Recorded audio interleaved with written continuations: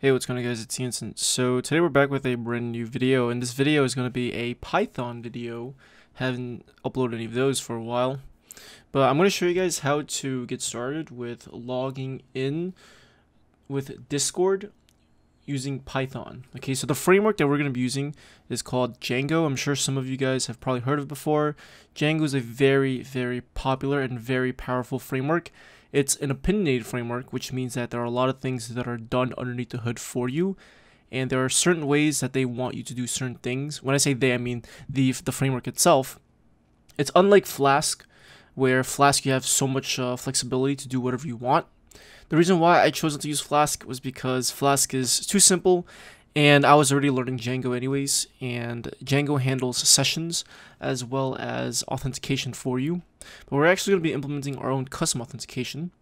So anyways, let's go ahead and just show you guys a little demo real quick. So right now you can see that uh, I'm currently on this auth user page, but you can see this is my uh, Discord information right over here.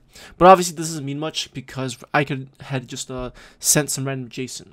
Well, let me show you this. So right now we're currently logged in, and you can see that if I show you cookies, okay, these are the cookies. I have a CSRF token and a session ID. Okay, so these two are sent back from within the Django framework. So we're to clear them. And now I'm going to close this out. And if I refresh, you're going to see that it actually says page not found. Okay, so I'm not sure why this is uh, redirecting me to here because it should be redirecting me to a different route. So I'm not entirely sure why, but the reason why this is happening is because we're not authenticated. So I can try to visit that route again, but it's not going to let me visit it because I'm not logged in. Now, if I want to log in with uh, OAuth 2, what I need to do is I need to simply visit OAuth 2 Discord. Uh, I think actually it's login Okay, there we go. So this is going to redirect me to this uh, screen over here. And you can see it says the application wants to access our account. This will allow Intellectual to access your username and avatar. We'll just click on authorize. Okay. And now you can see we're back to the screen over here. And if I open up the network tab, or not the network, the application tab, and if I click on cookies, you can see I have a new session ID and a new CSRF RF token. And if I refresh, I'll be able to access it. And of course, if I log out, I won't be able to. All right, so the first thing we're going to do is set up a new Django app. So I'm actually just going to create a directory called Django OAuth2 Discord.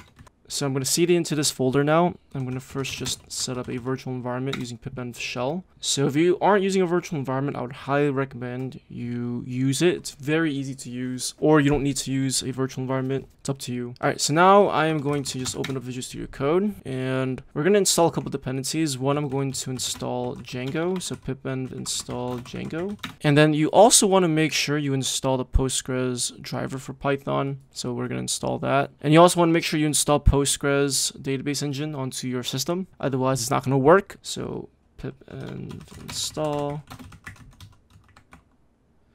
Okay, there we go.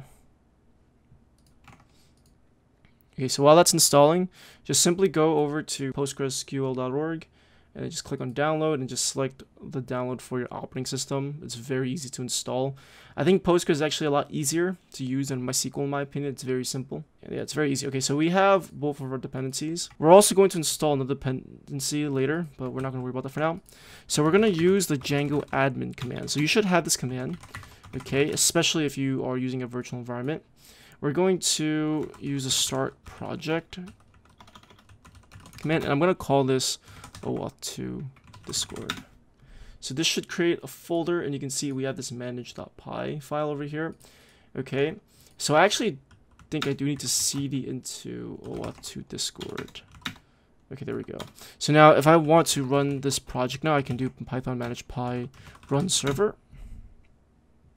So this is going to set up our server. And you can see that right over here is a starting development server at HTTP and then the port. So if I actually go over to my localhost port 8000, you're going to see this web page over here.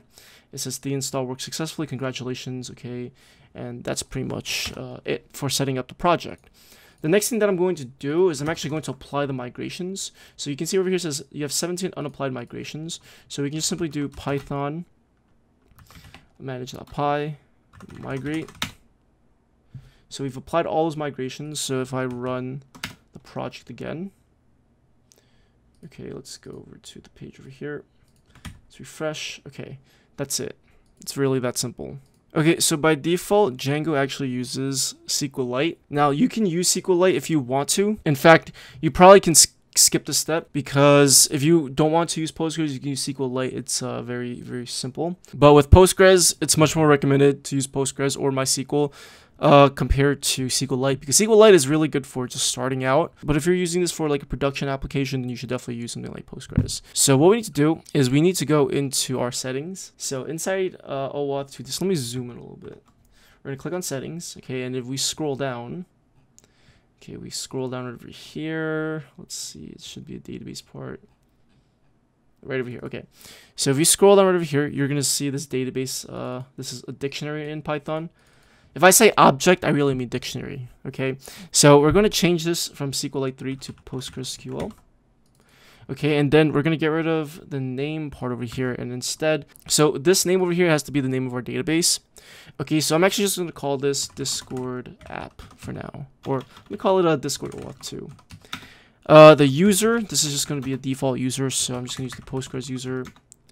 Password will be my password for the server, and then host, localhost, and then the port. So default port for Postgres is 5432.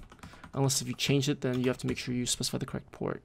Okay, so that is pretty much it for configuring the database part. Okay, so we need to actually do one more thing. So let me go back to here, we're gonna do Python manage py and then run server. So let's just uh, make sure that there's no issues. Okay, so you're going to see that it says database discord OAuth 2 does not exist. So we actually do need to create the database right now. So assuming that you guys have already installed uh, Postgres, so what I'm going to do is I'm actually going to uh, type Postgres. So I'm actually going to do this in my terminal. So if you don't have this command registered, what that means is that the path is not configured. If you uh, hit the start key on your Windows computer and if you type psql, it's going to open up this program called SQL Shell psql. So this will say the server that you want to connect to. Whoops, server. Why is that? Okay, there we go. Uh, Postgres is the name of the database. Port. Uh, let's see what else username, and then the password. Okay, so I'm logged in right now, and you can see that I should have a couple databases right over here. So I'm going to just create a database. So I'm going to say create database, and we called it, I think, what was it, uh, Discord OAuth 2. So Discord OAuth 2.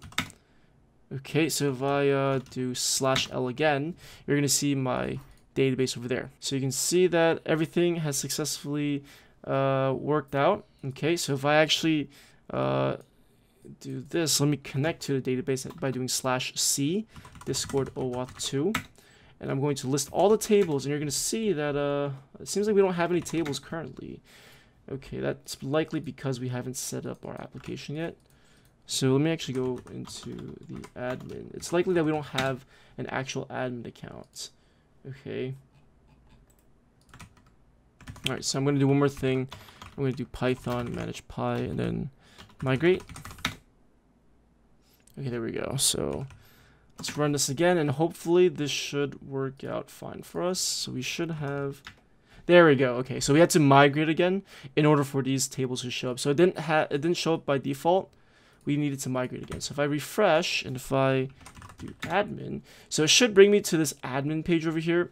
Now, you can actually create a super user through the shell over here. So right now I don't have any account right now, but if you want to create a user, you can. It's actually very simple. We can use the manage.py script to create the user for us. So it's this is the nice thing about Django is that it gives you a lot of uh, tools out of the box. So for example, I'm going to do python manage.py, create super user. So we're going to say username, we'll just leave a Anson, email address, I'm going to skip that. Password, I'll just do 1234, 1234 and we'll just say yes for now. Obviously, it's a test password, so it doesn't really matter for our local host. Okay, so if I try to, if I actually go into my database, and if I do select from auth user, you'll actually see that I have my user over here. And the nice thing about Django is that it actually hashes the password for you. Okay, so you don't have to worry about doing that yourself. Django will do that automatically for you. So let's log in right now.